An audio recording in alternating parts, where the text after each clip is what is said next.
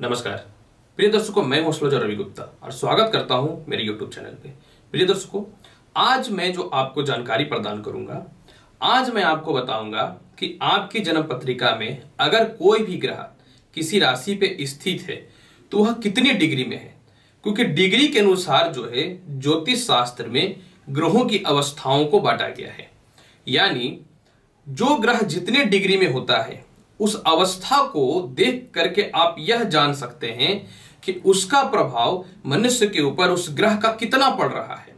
ऐसे तो ज्योतिष शास्त्र में सिर्फ़ ग्रहों के अंश यानी डिग्री के अलावा भी बहुत सारे योग होते हैं उच्चस्त निचस्त, मित्रस्थ दृष्टि संबत बहुत सारे चीज़ जो होते हैं देखे जाते हैं। लेकिन जो ग्रह जितने डिग्री में होते हैं, उसका जो है प्रभाव मनुष्य के ऊपर उतना ही पड़ता है, क्योंकि हर ग्रह के डिग्री ज़ीरो से लेकर के तीस डिग्री के मध्य में ही होता है। मतलब कोई भी ग्रह जब किसी राशि में बैठेगा तो ज़ीरो से लेकर के तीस डिग्री के मध्य में ही बैठेगा। और इस ज़ीरो से तीस डिग्री को भी जो है, पाँच भागों में बांट दिया गया है। तो आज मैं आपको यह बताऊँगा कि अगर आपकी पत्रिका में कोई ग्रह किसी भी राशि में बैठा हुआ है, और वह कैसे आप जान पाइएगा कि इतनी डिग्री में यह बैठा हुआ है तो इसका प्रभाव क्या रहेगा? क्योंकि ग्रह की अवस्था ही उसकी मजबूती को दिखाने वाला होता है। तो मैं आपको बहुत ही आसान फॉर्मूला समझाऊँगा। आप इस फॉर्मूला को समझ जाइएगा तो निश्चित तौर पे अगर आप ज्योतिष के क्षेत्र में उसमें भी आपको सहायक हो जाएगा। और अपनी स्वयं की पत्रिका भी आप देखना चाहते हैं तो भी आपको इसमें बहुत ही ज़्यादा सहायक सिद्ध होगा, क्योंकि ग्रह की अवस्थाएँ बहुत कुछ निर्भर करता है किसी भी व्यक्ति के जन्म पत्रिका में। प्रिय दर्शकों, देखिए, ग्रह की जो अवस्थाएँ होती हैं इसको जनरली पाँच भागों में बांटा गया है, जिसमें पहला ये होता है बाल अवस्था, कुमार अवस्था युवा अवस्था, वृद्ध अवस्था और मृत अवस्था। अब देखिए, कोई भी ग्रह जब रहेगा तो निश्चित तौर पे वो मेष राशि से लेकर के मीन राशि के ही मध्य में किसी न तो किसी राशि पे बैठेगा। तो प्रत्येक राशियों का होता है अपना अपना अंक ये जानकारी मैंने पिछली वीडियो में दी है।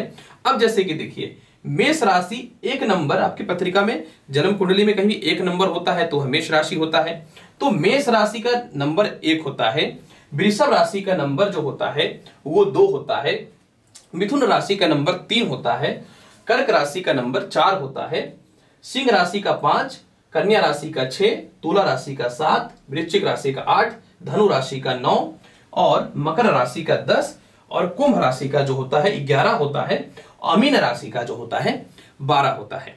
अब यहाँ पे ज्योतिष शास्त्र को किस तरीके से अंशों के आधार पे समझा रहा हूँ, आप पहले समझिएगा। यहाँ पे देखिए क्या है। आप सोच रहे होंगे कि मैंने सीरियल वाइज क्यों नहीं लिखा?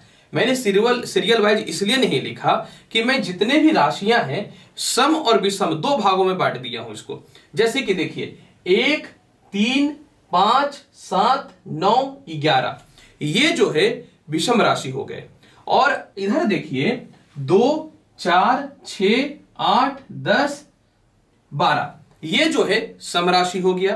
अब मैं आपको फॉर्मूला समझाता हूँ कि अगर आपकी पत्रिका में कोई भी ग्रह, अगर विषम राशि में, जैसे एक नंबर विषम राशि होता है, यानी मेष राशि के स्वामी हुए, अगर कोई भी ग्रह विषम राशि में, यानी एक नंबर पे, तीन नंबर पे, पाँच नंबर पे, सात नंबर पे, नौ नंबर पे, ग्यारह नंबर पे, कोई भी ग्रह अगर विषम राशि पे आप समझिएगा, मैं बहुत ही आसान तरीके से आपको समझा देता हूँ कि कोई भी ग्रह जब विषम राशि में ज़ीरो से लेकर के छह अंश पे रहेगा, कोई भी ग्रह तो उस स्थिति में ग्रहों का जो अवस्था रहेगा, अंश के आधार पे, डिग्री के आधार पे, वह रहेगा बाल अवस्था आप एकदम समझिएगा, बहुत आसान फॉर्मूला आपको बता रहा हूँ, बहुत सहायक होगा आगे चल करके, क्योंकि आगे चल करके मैं ज्योतिष के क्षेत्र में बहुत अच्छी अच्छी जानकारी आपको प्रदान करने वाला हूँ।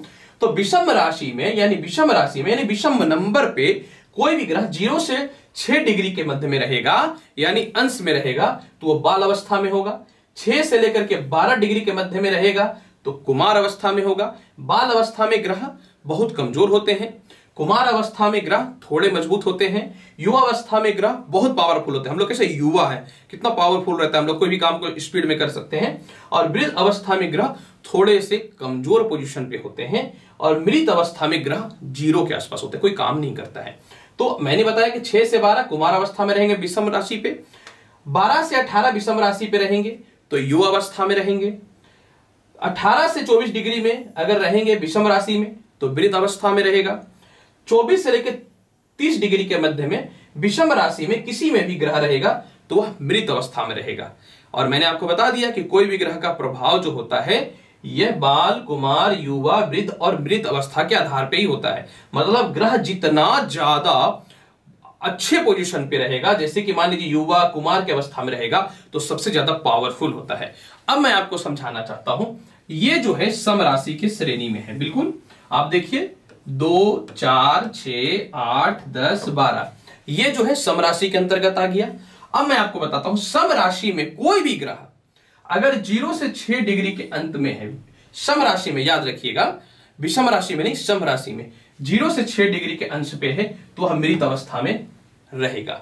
इसके अलावा विषम राशि में कोई भी ग्रह, माफ़ करेंगे, सम राशि में कोई भी ग्रह छह डिग्री से बारह डिग्री के मध्य में रहेगा तो वह वृद्ध अवस्था में रहेगा। सम राशि में कोई भी ग्रह बारह से अठारह डिग्री के मध्य में रहेगा तो वह युवा अवस्था में रहेगा।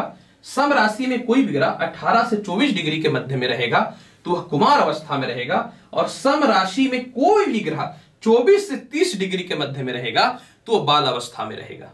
मैंने आपको बताया है कि आपकी कुंडली में बाल अवस्था से लेकर के मृत अवस्था तक में ग्रहों का क्या फल होता है यह बहुत ही सामान्य बात है। कोई आवश्यकता नहीं है कि मैं इसके बारे में आपको बहुत ज़्यादा समझाऊं, बाल अवस्था वृद्ध अवस्था कुमार अवस्था के बारे में। ये एक सामान्य बात है जो आप समझ सकते हैं। तो प्रिय दर्शकों, आज मैंने आपको जानकारी दिया कि आप कैसे जान सकते हैं कि आपकी कुंडली में ग्रह कितने डिग्री में है, किस राशि पे है और किस अवस्था में है।